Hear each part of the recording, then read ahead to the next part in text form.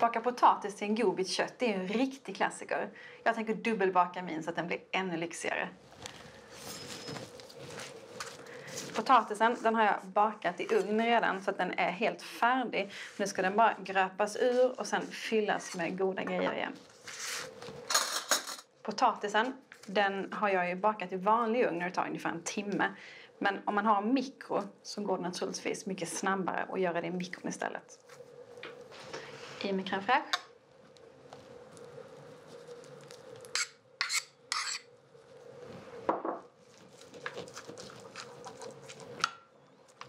En god ost, gärna lagrad.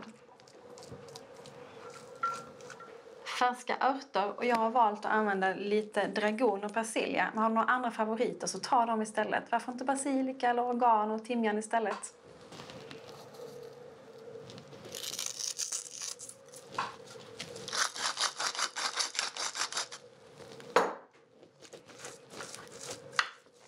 Nu tillbaka med allt det här goda i skalet igen. In i ugnen och gratinera av det på hög värme. Och sen är de klara. Ryggbiff är otroligt härligt och gott kött. Och det är väldigt enkelt att laga. Det kan lagas på massa olika sätt. I ugnen eller som här då i skiva. Man bara grillar i en het grillpanna. Salt och peppar är egentligen det enda som behövs på det här fina köttet.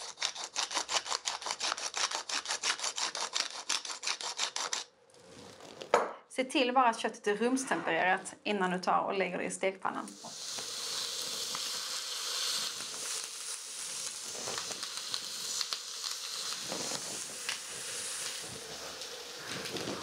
Innan du kryddar köttet så är det bra om det får liksom torkas av lite för så att det inte är så blött. Och när köttet är färdigstekt så låt det vila en stund så att alla köttfärter verkligen sätter sig innan du skär upp det.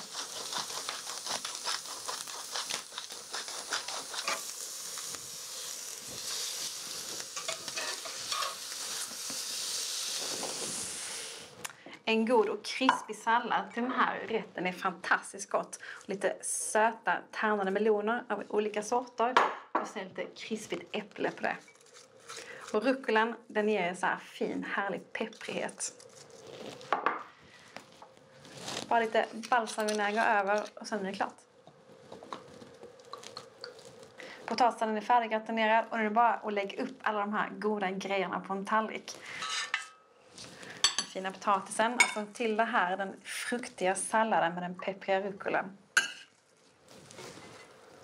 Och köttet det har vilat klart i pannan så det är bara att lägga upp.